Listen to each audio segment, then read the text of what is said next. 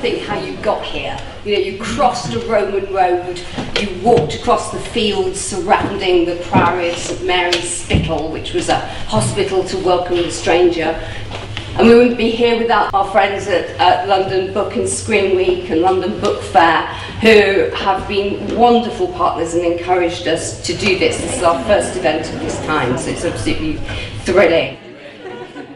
When I came here when I was 17 years old with my politics class for, for an AS level trip, um, all of a sudden I felt like I was a part of a, a, greater narrative, a story that was a very British story, and all of a sudden I felt like I was home. And so it was a very pivotal um, time for me to come to this to this building and find out more about myself, and, and it's just such an amazing place to be. Bang, bang, I'll shoot you down. Bang, bang, he, she, they, I hit the ground.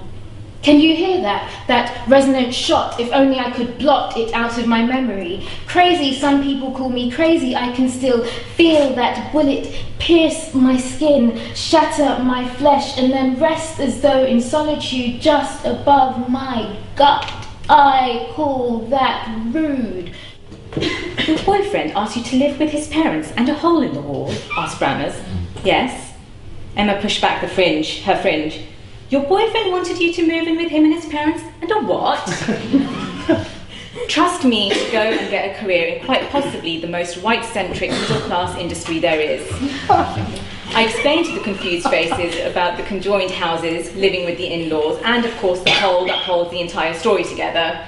After I'd explained about common Asian practice, not only did I feel like a black sheep, but I would have quite liked to be a sheep. Sheep are not judged. London and New York are pretty much interchangeable cities, they're global cities, whereas um, you know, Wolverhampton is not interchangeable with anything. Uh, uh, I realise that actually a lot of my signs are actually about London. For example, I'm not going to read all of them out. Um, the opening of a, of a new Tesco's is a cause for celebration, not despair. Right? In Wolverhampton, it's a brilliant thing, whereas in London, it's terrible. They're in a restaurant. The Edwardian dining room, with its crystal mouldings and Pushkaresque murals, was designed to dazzle, but Surinder was more taken back by details regular diners would have considered banal. Tablecloths starched and ironed to cardboard stiffness. People scooping soup from bowls in smooth outward movements sipping from the sides of spoons. On the table next to her, a lady was wiping her plate with a piece of bread, which itself was on the end of a fork. While straight opposite, a man was eating a banana with a knife and fork. These white people would, it seems, do anything not to touch their food with their hands. Language is important. Years before, I sat in an Indian restaurant round the corner from where we live. It's called Oh, Calcutta! I found the exclamation mark alarming.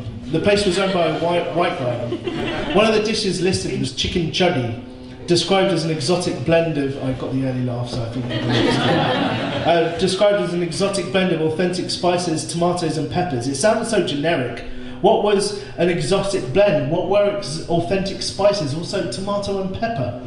These were the these were the biggest tastemakers apart from chicken in the dish. What is chicken chuddy? Also, chuddy means pants. I felt mortified for the white guy owner. He probably had been duped by some guy who'd asked for a word that sounded Eastern.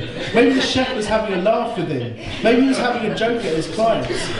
But now we had white guys aping the food we made, made to fit in with the white guys and calling it pants. I called the manager over. I Actually, we'll discover something new and make a new friend this evening and share your stories and hear other people's stories as well.